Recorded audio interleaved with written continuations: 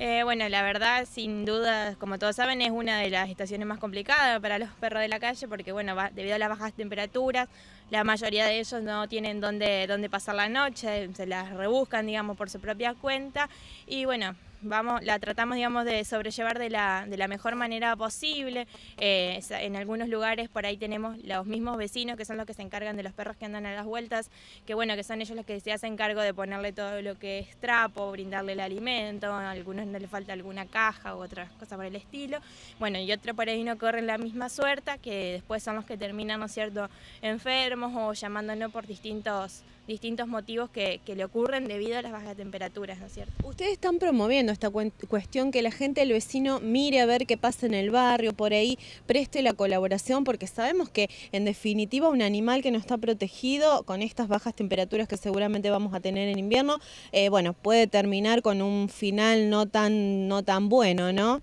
Eh, ¿Esto pasa realmente, el vecino se interesa o por ahí, eh, bueno, vemos que a lo mejor alguno hace una mirada, digamos, distraída. No, la verdad que de eso no nos podemos quejar porque toda, toda la población san carlina siempre, desde un primer momento que nosotros comenzamos a trabajar, nos han apoyado, eh, nos han llamado por diferentes casos, han colaborado incluso por su propia cuenta con los mismos animales. Lo que por ahí tenemos es que nosotros somos muy pocos en este momento en la agrupación y nos llaman por un caso, por otro, por otro y hay momentos realmente en los que no damos abasto y bueno, eh, en esos casos son donde pedimos más que nada la colaboración de los vecinos, que por ahí, más allá de la pequeña ayuda que uno le pueda brindar, eh, bueno, se encarguen del resto de las cuestiones, eh, lo que te decía antes, brindarle em,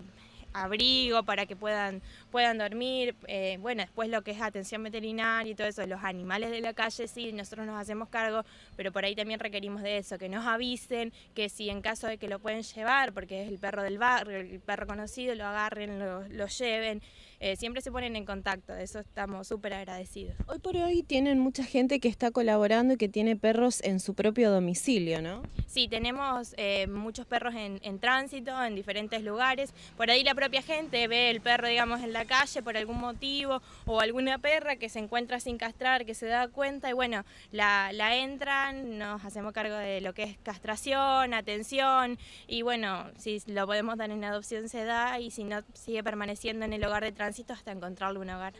¿Hay muchos perros que están en esta situación? Y en este momento, más o menos de grandes rasgos, te puedo decir que tenemos unos 15 hogares de tránsito de diferentes personas, donde ellos se hacen cargo del perro eh, mientras, mientras lo tengan, ¿no es cierto?